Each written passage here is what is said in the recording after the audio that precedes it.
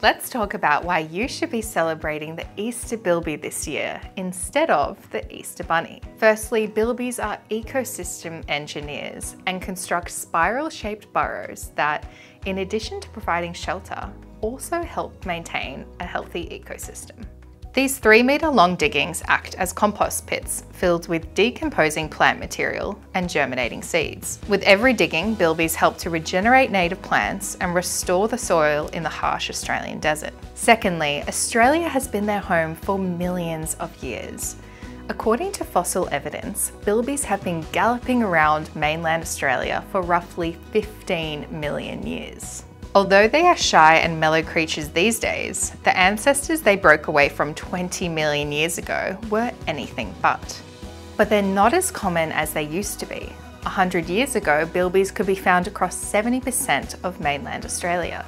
But shortly after the arrival of European settlers, along with the introduction of the rabbit, the bilbies range rapidly shrunk to covering just 20% of the country. Now, it's estimated that there are less than 10,000 bilbies scattered across Australia.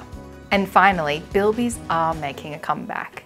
Funds have been raised through chocolate Easter bilby sales over the last 25 years, and this has helped brighten the future of the real life bilby.